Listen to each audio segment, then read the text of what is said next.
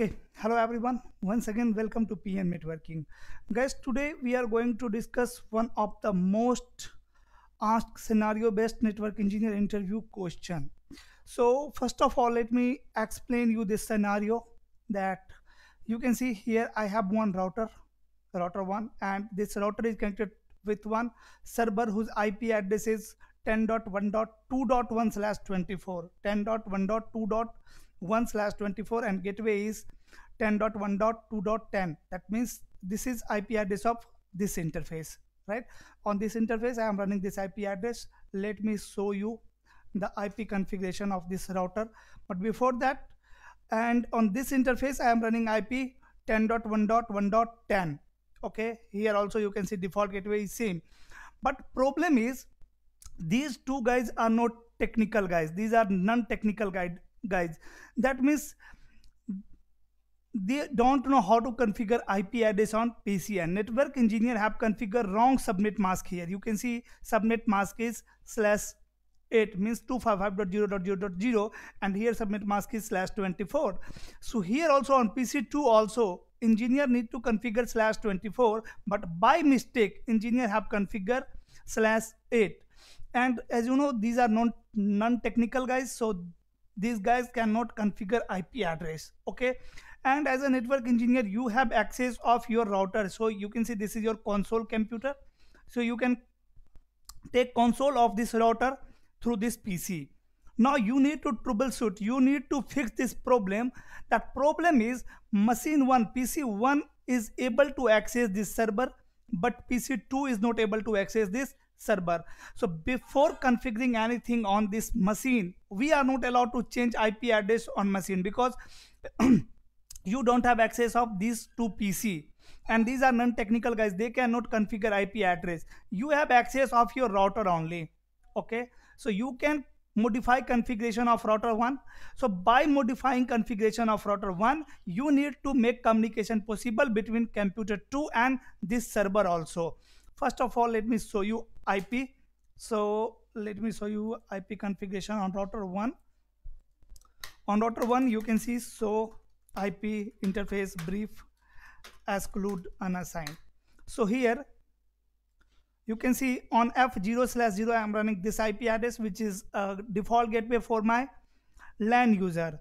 This is IP address of my server interface interface of router which is connected to server and this interface is connected to my console PC. This is for console access, right? So this is IP configuration of this router. Let me show you configuration of PC. So here on PC1, so IP, you can see IP address of this machine is 10.1.1 slash 24 and gateway is 10.1.1.10 and this machine is able to access the server 10.1.2.1 you can see I am able to ping server IP address but PC2 this is PC2 here also you can check IP so IP here you can see IP is 10.1.1.10 gateway and IP address of this machine is 10.1.1.2 uh, slash 8 and this machine is not able to ping 10.1.2 one server. This machine is not able to ping server. So as you know you are not allowed to change configuration of this to pc okay? But you can modify configuration of router 1 so by modifying configuration of router 1 you need to make this pc able to ping this server.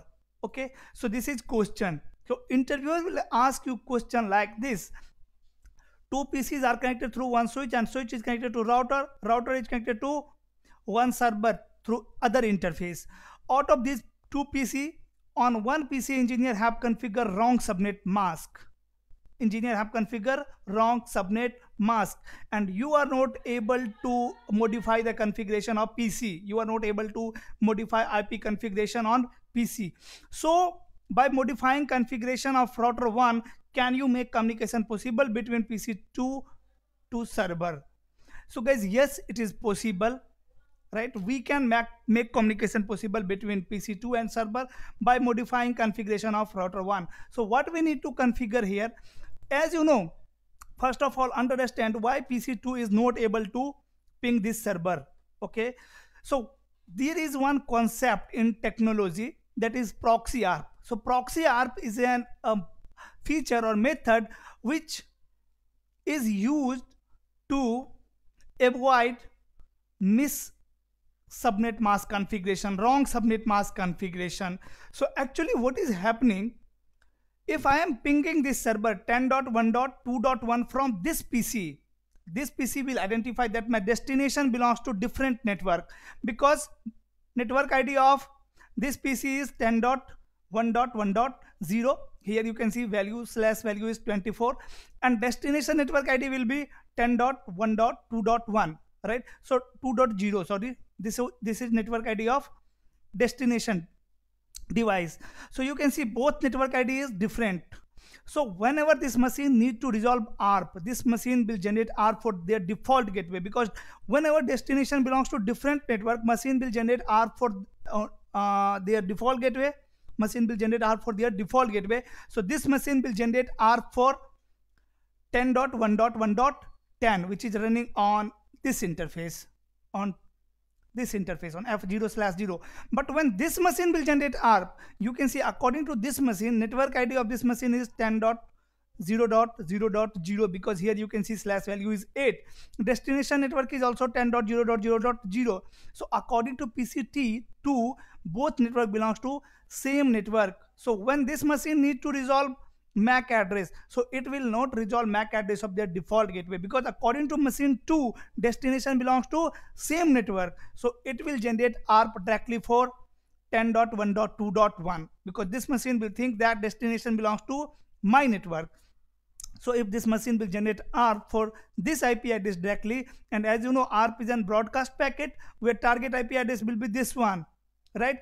And router will receive ARP request on this interface.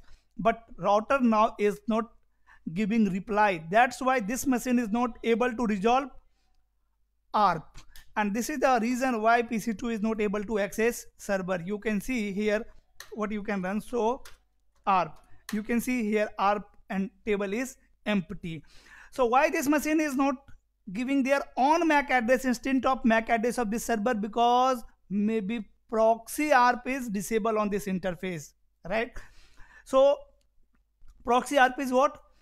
If we will configure proxy ARP on this interface and then when this machine will generate ARP request for this destination, that router will share their own MAC address, right? Instead of the MAC address of this server, right?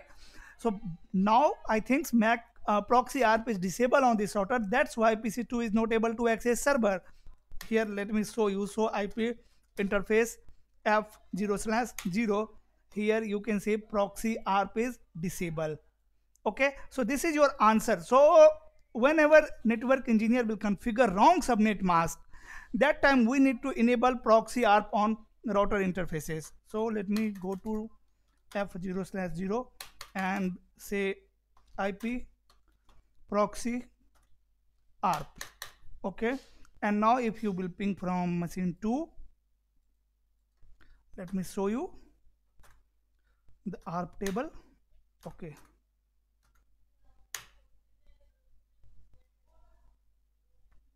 So see now pc2 is able to access server and if you now if you will check ARP table you can see ARP table this is MAC address of server. But this is the MAC address of router interface fast ethernet 0 slash 0 that's all for today guys. If you like this video please hit on like button.